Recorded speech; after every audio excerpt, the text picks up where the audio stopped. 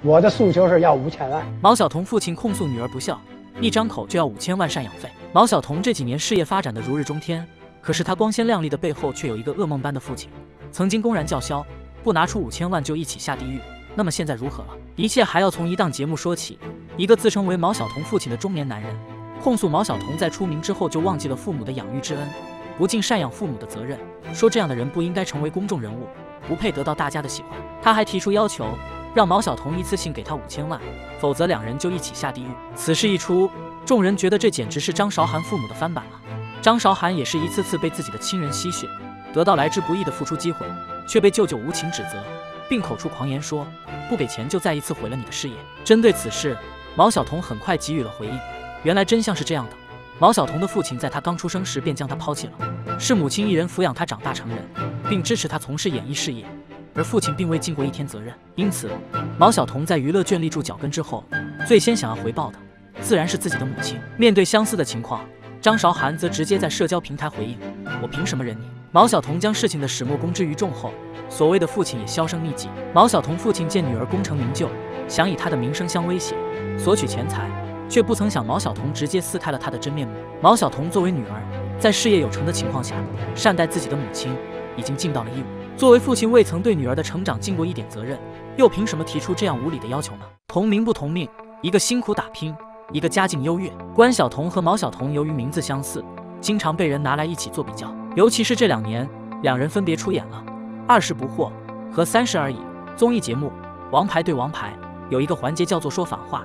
关晓彤向毛晓彤提问：这两部剧哪个更精彩？毛晓彤稍加思考回答：“肯定是二十不惑，太好看了，收视都比我们三十而已高好多。”这个回答非常精妙，表面上是在赞扬二十不惑，但是不要忽略这可是说反话环节。关晓彤提出这个问题是给自己挖了个坑，毛晓彤总不能自卖自夸，所以只能说二十不惑。他的回答滴水不漏，用收视率加以佐证。后来毛晓彤反问关晓彤：“你认为你是顶流吗？”关晓彤说自己糊得一塌糊涂，不但没戏拍，还上不了热搜。你觉得你是顶流吗？呃，我真是糊得一塌糊涂呀，又没戏拍，也上不了热搜。对于双方的回答，网友一直津津乐道。两人都是佼佼者，但是在情商方面，毛晓彤还是略高一筹。同时被网友拿来相较的还有两人的家世出身。毛晓彤出生便只有母亲相依为命，自小家境贫寒，成年后识人不清，被渣男欺骗，靠自己的摸爬滚打才在娱乐圈拥有了一席之地。反观关晓彤。童星出道，演艺世家，爷爷有着极高的地位，甚至被称为金圈格格，经济条件更是不必多说。被绑在柱子上三天，毛晓彤的成名之路有多艰辛？在做演员这条路上，毛晓彤尝尽了辛酸苦楚。她的第一部戏《女神补》是在剧组跑龙套跑了两年才得来的。尽管她的镜头不多，片酬也是杯水车薪，可是她非常珍惜这次来之不易的机会。这部戏拍摄地点在武夷山，有一场戏她需要被绑在柱子上，正值隆冬，她孤身一人。